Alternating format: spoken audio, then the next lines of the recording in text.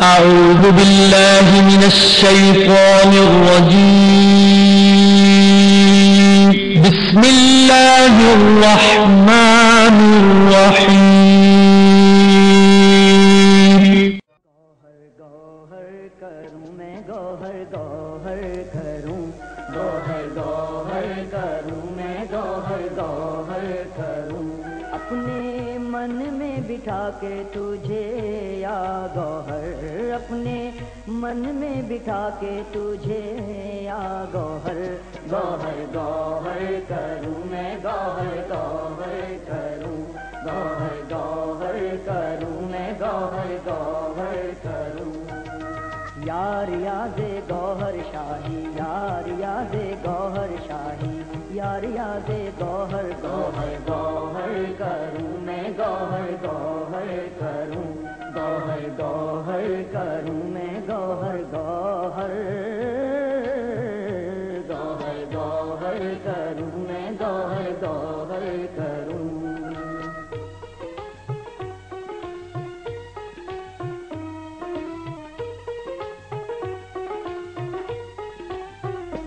तेरा जलवा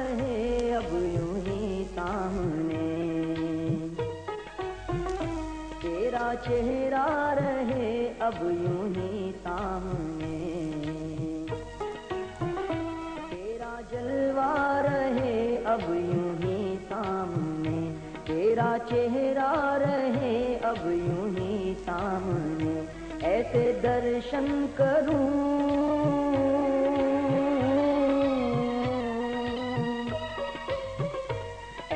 दर्शन करूँ मैं, तेरे दर्शन करूँ गौहर गौहर करूँ मैं, गौहर गौहर करूँ। गौहर गौहर करूँ मैं, गौहर गौहर करूँ। यार, यादे गौहर शाही, यार, यादे गौहर शाही। यार, यादे गौहर गौहर गौहर करूँ मैं, गौहर गौहर करूँ।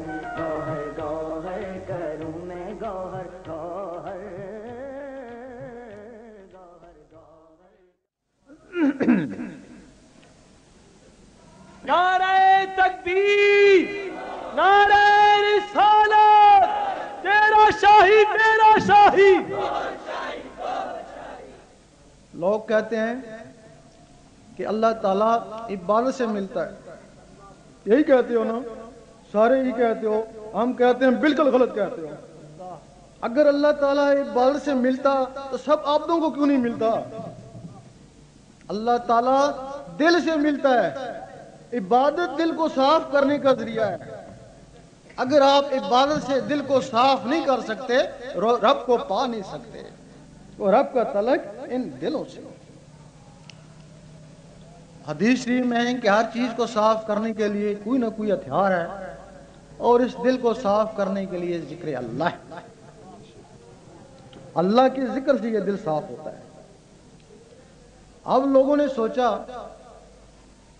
कि कुरान मजीद फरमाता है कि उठते, बैठते, हत्या करवटें लेते हैं, मेरा ज़िक्र करो। इस तरीके से शायद रब मिल जाए। किसी ने तस्बी ले ली, लेकिन उसने देखा जब वो सोया तस्बी गिर गई। दूसरे ने उस जरबों का ज़िक्र किया, लेकिन वो हर वक्त नहीं कर सका। तीसरे ने खफी किया।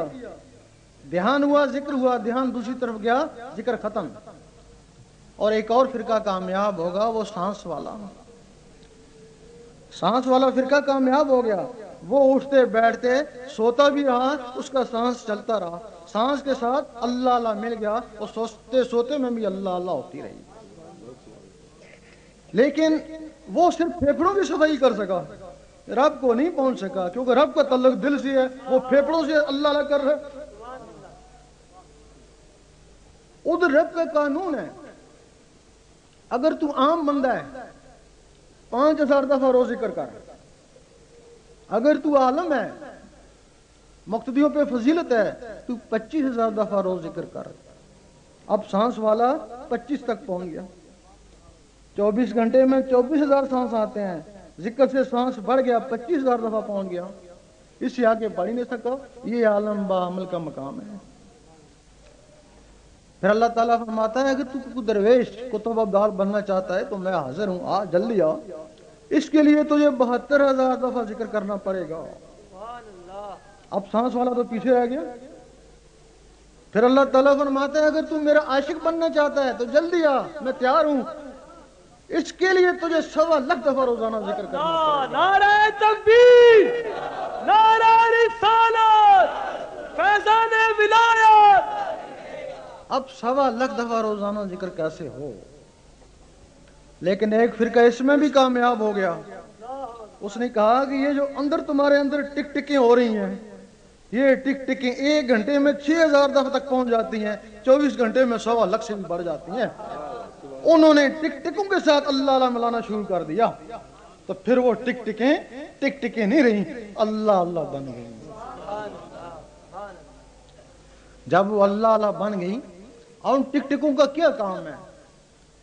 टिकटिकें खून को आगे धकेलती हैं नस नस में पहुंचाती हैं, फिर खून को आगे धकेलती हैं। 24 घंटे यही काम है। अब वो अल्लाह अल्लाह उन टिकटिकों के ज़रिए नस नस में चला गया। जब नस नस में चला गया उस वक्त शाह वली अल्लाह फरमाते हैं तू एक दफ़ा अल्लाह करेगा तुझे साढ़े तीन करोड़ अल्लाह अल्लाह करने का स्वाब मिलेगा। कैसे मिलेगा कि तेरे अंदर साढ़े तीन करोड़ नसें हैं?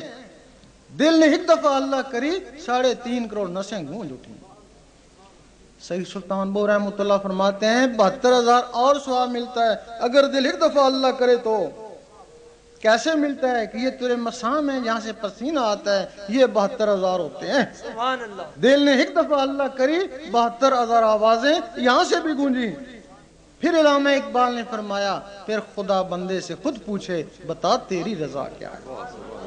फरमाते हैं कि खुदी को कर बुलंद इतना और खुदी का मतलब समझाया खुदी का सरे ना ला इलाहा इल्लल्लाह। तू ला इलाहा इल्लल्लाह का इतना ज़िक्र कर कि लोग कहें, मजनू हो गया और मुनाफक कहें, रियाकार है। और यहाँ किसी शायर ने कहा गुनागार पहुँचे दरे पाक पर, जहदो पारसा देखते रह गए। अब जहदो पारसा कैसे देखते रह गए? विलियम बौर जैसे बड़े जाहिद पारसा दो में जाएँगे। वो साबे काफ का कुत्ता जो नमाज़ भी नहीं पढ़ता था, वो जन्नत में जाएगा।